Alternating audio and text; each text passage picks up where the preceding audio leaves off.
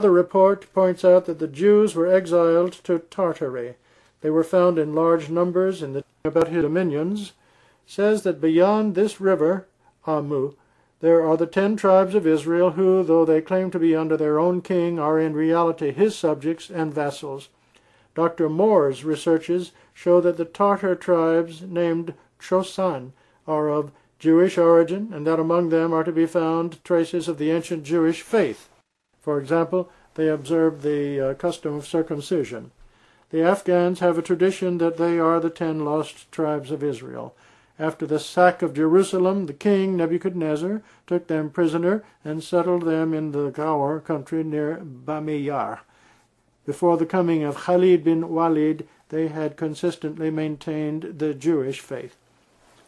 In appearance, the Afghans resemble the Jews in all respects. Like them, the younger brother marries the widow of the elder brother.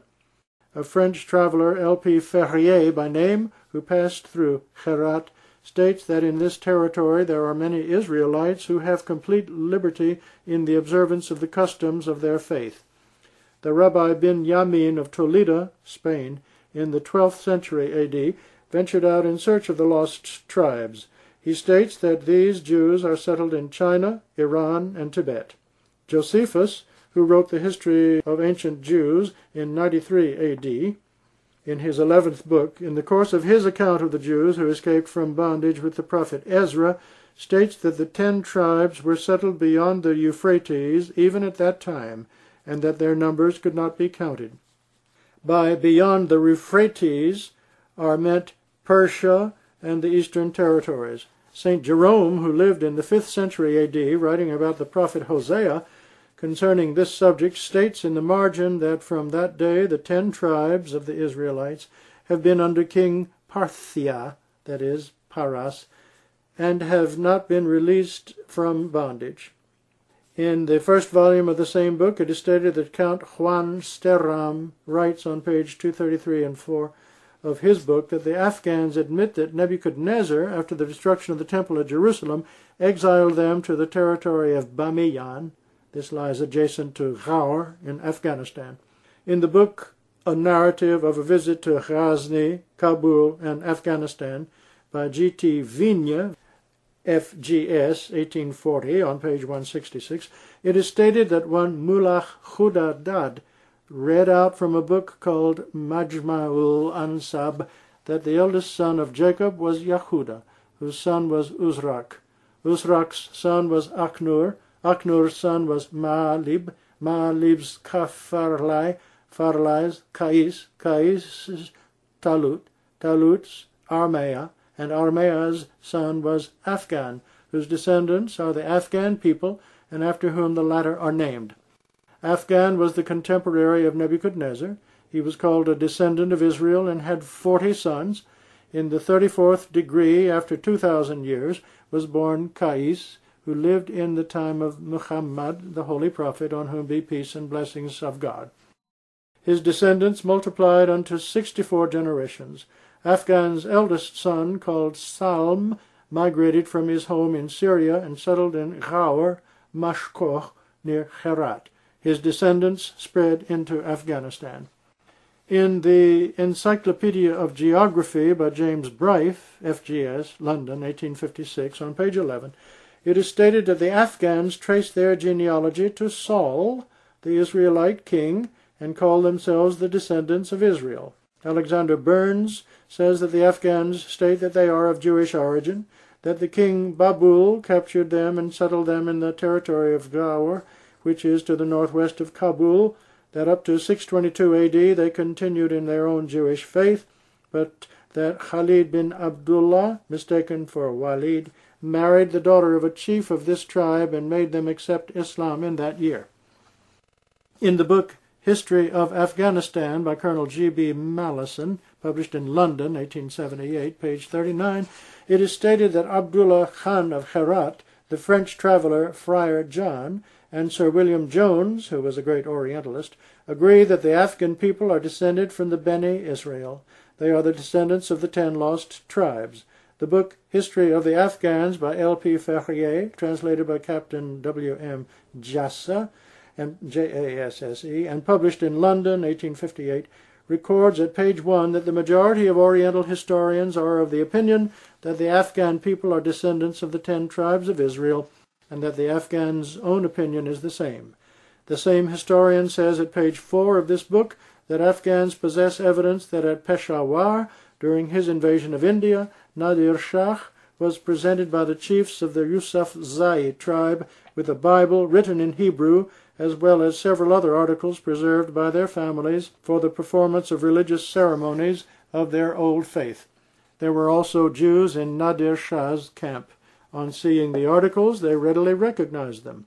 Again, the same historian states at page four of his book that in his opinion Abdullah Khan of Herat's view is reliable.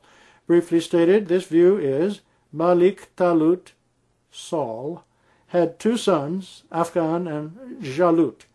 Afghan was the patriarch of these people. After the rule of David and Solomon, there was mutual fighting between the Israel tribes, as a result of which each tribe became separated from the rest, and this state of affairs continued up to the time of Nebuchadnezzar.